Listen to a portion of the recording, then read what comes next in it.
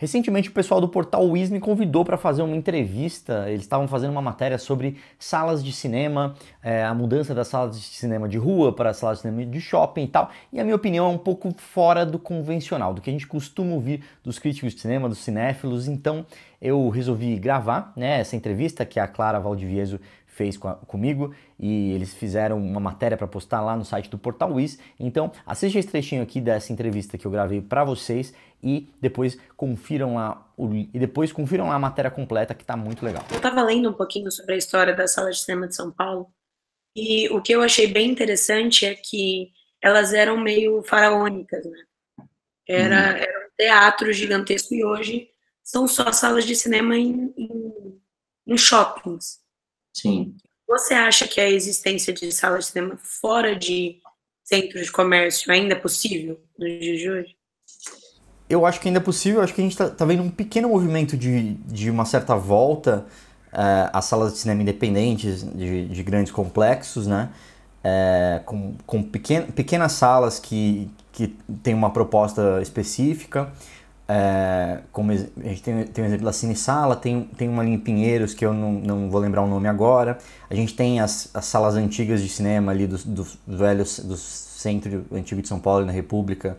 Só que eu, eu vou te falar assim, eu sou de uma posição que eu não tenho uma, uma nostalgia tão grande com relação a isso. É, parte, em parte porque eu não peguei essa época de, de salas de cinema de rua. Então eu não, eu não sinto essa necessidade do, de uma volta para esse lugar. É, eu acho que, na, na, minha opinião, a sala de cinema no shopping populariza de certa forma o cinema, né? ele vira uma das opções entre outras opções que a pessoa é, pode ir. É um lugar que hoje em dia, principalmente no Brasil, é, é mais seguro. Né? Não sei se você já foi ali, por exemplo, no, no Cine. É, no, o Belas Artes até o Belas Artes até é, é, um, é um bom exemplo, porque é do lado da Paulista, é um lugar até meio seguro, mas ali no centro antigo, Cine Olinda. Cara, eu esqueci. Ali do lado da Praça da República. Enfim, eu, eu fui. Algumas, em algumas ocasiões eu fui para assistir alguns filmes lá em, na Mostra de Cinema de São Paulo e assim, eu, eu ando de boa por ali e tal, mas muita gente tem medo, né? E, e é, é, um lugar meio estranho que não tem muita coisa em volta. A Praça da República, ali, infelizmente, é, é bem complicado com relação à segurança e tal. Então, eu, eu acho que existe um pouco. É, existem motivos das salas terem migrado para shoppings, e eu não acho que é necessariamente algo ruim por si. Né? Eu acho que o cinema continua sendo um destino. As pessoas pensam assim, ah, vou no cinema, e aí vai nos shoppings. E, na minha opinião, quanto mais lugares que a pessoa puder assistir uh, o filme, na minha opinião, melhor. Né? Então, é sempre o público que vai ditar qual é o lugar certo e não algumas pessoas que gostariam que fosse de um jeito ou de outro. Né?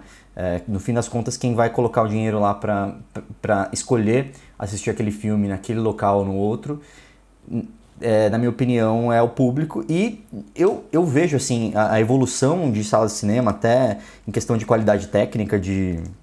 Eu já fui na Argentina em muitos cinemas de rua e em cinemas de shopping, e os de shopping eram sempre melhores. Né? Aqui no Brasil, a experiência que eu tive com cinemas de rua e cinemas de shopping, os de shopping tinham uma qualidade maior, enfim, IMAX, outras coisas é, que, que, que a, o público percebe e acaba optando por, por, um, por uma experiência um pouco melhor, né? Essa é a minha opinião. E você acha que o alto valor para ir numa sala de cinema hoje é algo que desencoraja as pessoas a irem ver o filme? É, é uma das coisas que eu mais ouço no nosso é, nos comentários do nosso podcast, né, no nosso canal, é, as pessoas que comentam no Twitter, no Instagram. O cinema hoje é muito caro comparado com o que era antes e enfim, existe uma série de motivos de por que o cinema custa tão caro quanto custa hoje. Né? O Brasil é um, é um país caro como um todo, enfim, para fazer tudo basicamente. É, o, o, shopping é um lugar que virou caro, ficou, ficou e fica cada vez mais caro. Enfim, estacionamento é caro pra caramba, é, comida em geral, a pessoa sempre que sai geralmente quer comer alguma coisa, isso acaba entrando junto no orçamento.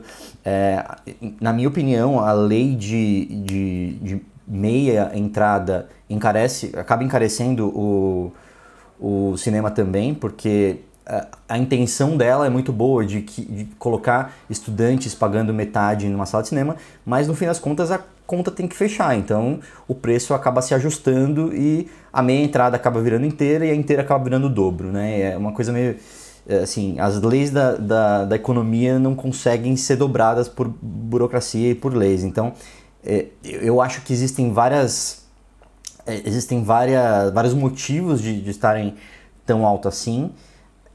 É, e eu, eu tenho certeza que, que o custo de ir no cinema mais alto acaba tirando muita gente é, de ir no cinema, né?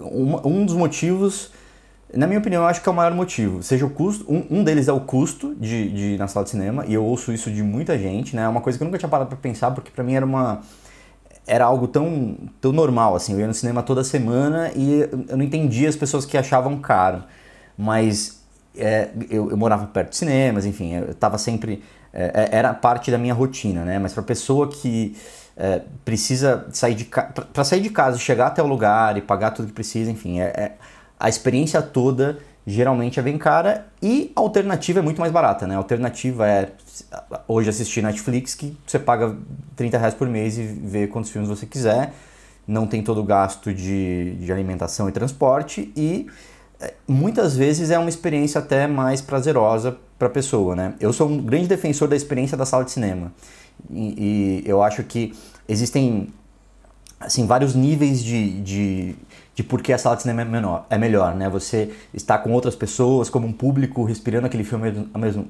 ao mesmo tempo, né? sentindo uh, tudo que o cinema está passando ali como uma plateia, você acaba uh, reagindo junto com outras pessoas, junto com você, você não tem uh, poder sobre o filme de parar e pausar para ir no banheiro, assistir amanhã se você está com sono, então você tem que prestar atenção, a tela é muito, muito maior que você, então você se sente ali é, impotente em relação a ela. Eu acho que isso ajuda é, em toda a parte psicológica que o filme traz. Por outro lado, a gente tem problemas na sala de cinema que você não tem em casa, seja pessoas falando, pessoas no celular, a má educação em geral, é, enfim, a poltrona às vezes está grudando o chão, sei lá. Existem tantas coisas ali à, à margem da experiência do cinema que poderiam ser melhoradas e eu, por exemplo, não vejo mais filme de terror no cinema há muito tempo porque as experiências que eu, as últimas experiências que eu tive foram assim tristes por, no sentido de que você chega no cinema para assistir um filme de terror, um filme sério, e aí tem um pessoal brincando, tem um pessoal dando risada, então te tira completamente daquele ambiente e, e do transe que você precisa para curtir o filme, né?